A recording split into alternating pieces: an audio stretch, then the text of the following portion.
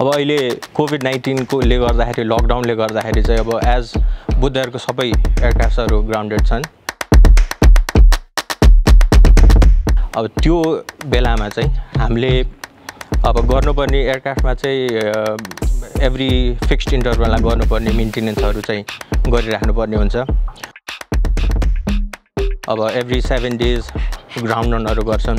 त्यस्तै अब basic इन्सपेक्सन्सहरू visual इन्सपेक्सन्सहरू अनि त्यसपछि एयरक्राफ्ट इन्टिग्रिटी यस्तो यस्तो सबै इन्सपेक्सनहरू हेरिराख्नुपर्ने हुन्छ। पछि वेन नर्मल सिचुएसन नर्मल भएर नर्मल अपरेसन जाने बेलामा चाहिँ त्यो एयरक्राफ्टमा पछि कुनै प्रब्लम नआओस् त्यसमा अब कोरोजनको इस्युज नआओस् अब इन्जिनको इस्युज नआओस् भनेर चाहिँ यो पिरियडिकली गरिरह।